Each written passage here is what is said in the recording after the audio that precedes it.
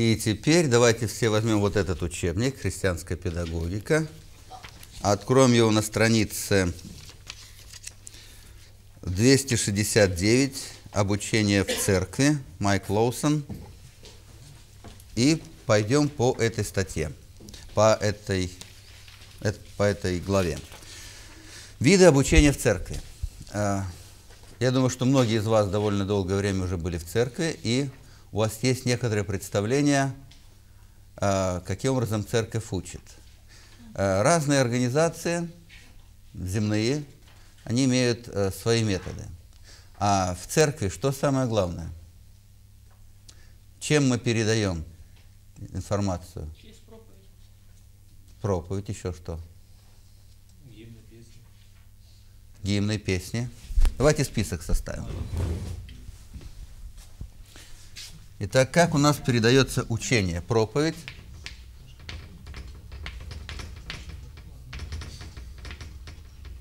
Если вы запишете себе такой же списочек, вы лучше запомните. Если просто просидите, то через два часа в вашей памяти будет 20% от того, что вы слышали, а в конце недели у вас останется 7%. А когда вы э, вашу зрительную память, слуховую, визуальную и психомоторную соедините, есть шанс, что вы больше запомните. Итак, проповедь, что еще? Пение, да? Стихи, да? Если бы это было в американском учебном заведении, вот этого момента там не было. Да. Это наша особенность. Что еще? Потом эти семинары различные.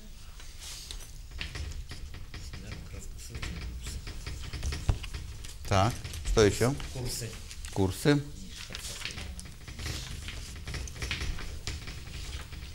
Личное наставление. Личное наставление.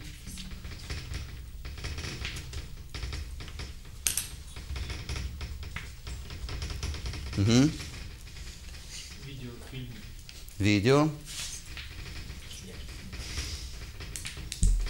Аудио, наверное, да?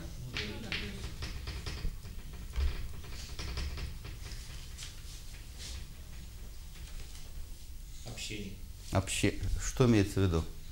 Э. Занятия на общение. А, воскресное общение? Ну да. А, наконец-то думал, надо же, уже столько всего перечислили. А самый основной метод передачи научения, которому мы с вами учимся и учимся и учимся, еще не был э, указан. Значит, общение, да, или классы, где как.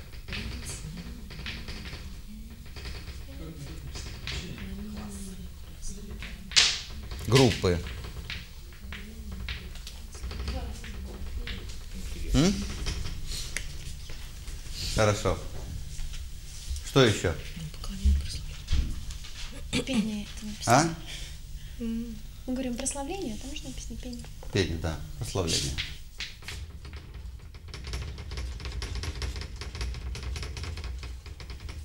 Мгм. Если мы были сейчас в православной церкви, что бы наши братья православные в этом списке добавили? Передача информации. А научение? Иконы, конечно. Иконы, образы. У нас и- Она в икона, списках это зачем? можно как вот театральные действия вот эти вот, как у нас. А у нас разве не бывает э, интересных плакатов, э, картин? Мы сегодня говорили. Очень интересно, очень просто. Представьте себе, э, где у нас восток? Ладно, хорошо, вход, основная часть здания церкви, и здесь, вот здесь вот восток. Когда человек входит в православную церковь, то вот здесь, вот на входной части, могут быть иконы, показывающие э, мучения грешников в аду. Вот, он осознает, и так, так обуч- Это веками проходило так. Человек обучается, что его может ждать, если он грешник и так далее. Дальше, если он э, впечатлился этим, проходит дальше, вот здесь, вот в этой части на стенах, иконы из притчей, из, из Евангелий, из жизни Христа, жизни святых и так далее. Он обучается и так далее. Дальше здесь уже идут иконы э, дальше обучающие церковной жизни. И в небе где-нибудь будет алтарь, да, основная часть. И на потолке где-нибудь обязательно будет э, рай, рай э, и небо и так далее. Да, в течение многих веков люди неграмотные, э, телев- телевизоров не было, чтения почти не было. Это был главный образ обучения людей на картинках, на образах. Да? Ну да, икона это греческое слово образ. Образ, просто образы, да. Потом возникает понимание, Да. такое, что сама икона, она как бы... что- Нет, это вот образ. Они потом были, они использовались как наглядные пособия. Ну, помните, в советское время наглядная агитация. Она потом была возведена в ранг, свят- в ранг святого. Еще мы туда не внесли. Ну, театральное действие это. Постановки. Мгм. Мистерии, Да. постановки.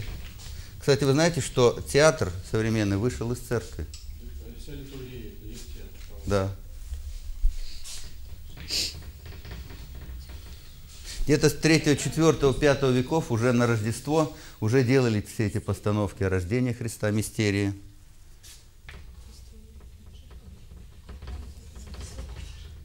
Постановки, мистерии, драмы и так далее. Сценки.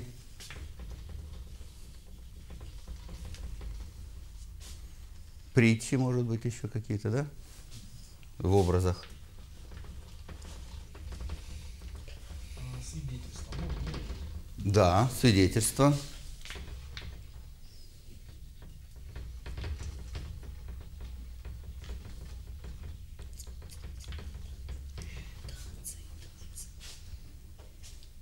И танцы. Ну, если в Ветхом Завете это была часть литургии. А? Танцами и церквях Да. Как, э, да, по- по- поясните, как происходит процесс обучения через э, Танцы? танцы да. Э, Ну, определенные, как бы, ну, есть танцы, которые ты а, выражаешь чувства, Мгм. как бы эмоции определенные. Танец может быть евангелиционный, например. То есть, Да. смотря какая песня, текст песни. Вышел пастор, Можно- станцевал еволюционный танец. Нет. Нет, ну в Библии написано, прославляйте, прославляйте э, ну, танцами и пениями. В Библии так ну, написано. ли- лики там и как бы определенно, ну, я слушала недавно проповедь, говорят то, что танцы это э, также является и оружие определенное. Мы выражаем, ну, как бы мы можем как бы воевать та- ну, Танцами. э, танцами. Там раньше э, трубами, да, там трубами. Вот если почитать Ветхий Завет, там ну, определенно все написано. Да.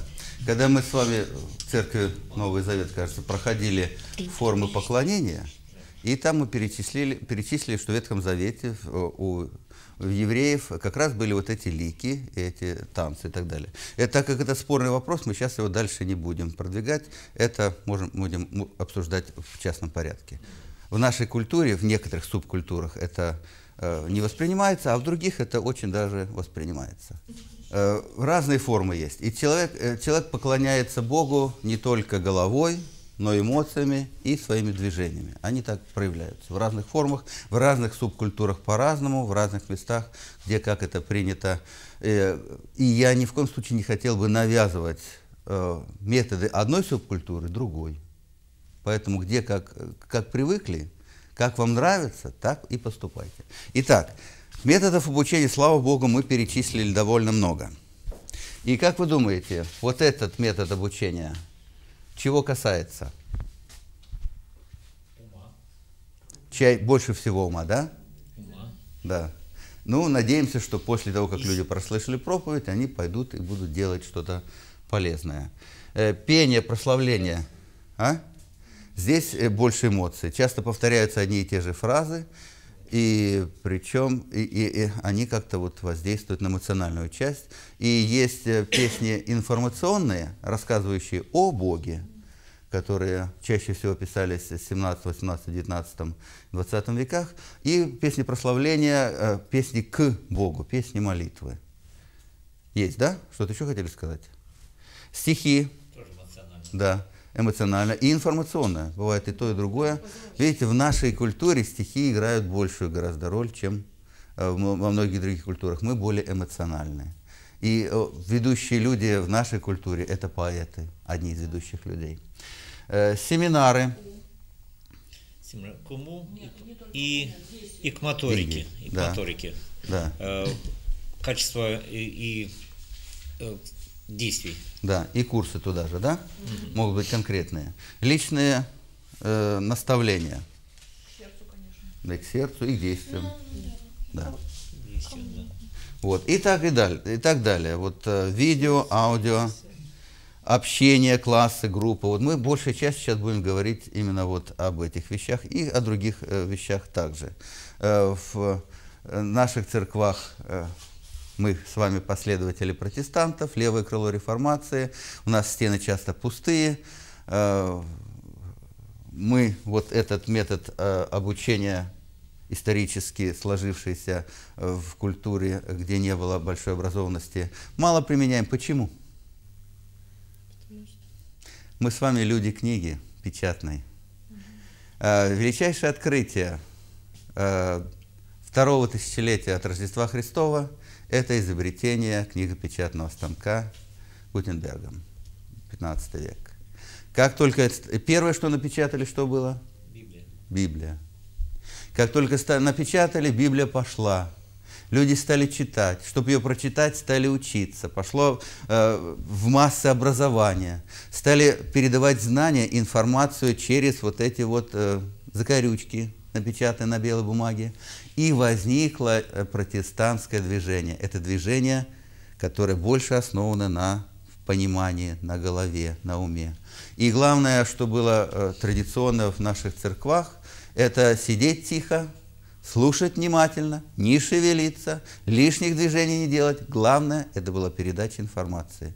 И это именно повлияло и на, наш, на форму нашего поклонения, форму нашего богослужения, передача информации э, в виде э, букв. Тогда еще не научились сразу картинки печатать, потом только научились. И поэтому к картинкам у нас какое-то отношение такое э, настороженное. Потому что мы, главное, книги э, слова вербального или слова написанного люди. И потом постепенно с болью, с проблемами и так далее э, в наше богослужение стали добавляться какие-то э, формы, какие-то образы звуковые, видео и даже движения. О Господи! И так далее. Нам не безразлична современная церковь. И у нас есть, что ей предложить. Поддержите наш проект молитвой и финансами. Информацию о чем молиться и как пожертвовать вы можете найти на сайте www.tvseminary.com. Мы дети своей культуры, дети своего века. Евангельское движение основано было на том, что изобретено было печатание. Когда наш хор э, посещал церковь в Германии, мы зашли в одну из церквей. Кажется, это было новое здание, но в предыдущем здании, кажется, э, Дитрих, Дитрих Банхёфер служил, это лютеранская церковь. И вот э, в, в одно здание мы заходили, недавно построено, нарочито плохая кладка на стенах грубая, нарочито неровный стол, ничего на стенах, э, простая, специально грубо сделанная кафедра и просто сделанные скамьи. И там кирпичные столбики и доски положены. Все. Вы знаете почему? Это отображение того крика души протестантской, которая надоела уже вот эта вот а, ляпота, пышность, и то, что этот священник иногда вещает откуда-то свысока, и все эти образы, вся эта пышность, они ушли в другую крайность, простоту. У них денег достаточно для хороших сидений мягких. Нет, жесткие скамьи. Нет простые камни на стенах. Никаких, никакого этого самого когда мы украшения. проводили первое служение э, в нашей церкви, когда мы заехали, ни полов не было, стены расписанные такими все в холоде, потому что это была зима. И приехали американцы, им так здорово это понравилось, что люди собираются в таких условиях. Это э, я тогда сейчас спросил, он говорит, впечатление, как будто в катакомбах находимся, как в пер- первые времена э, христианства. Да. И такой, Люди- и такой духовный и душевный подъем Да. при этом. И это замечательно. Не будем осуждать те или другие формы. Люди иногда убегают от одних форм и бросаются в другие крайности. Убегают от всех э, э, движений и э, сидят просто колом. Или бросаются в крайние движения, там уже некогда думать головой, надо двигаться. Э, разные направления есть. Богу э, церкви всякие нужны, церкви разные важны. Бог любит, учит нас немножко быть более понимающими и терпеливыми.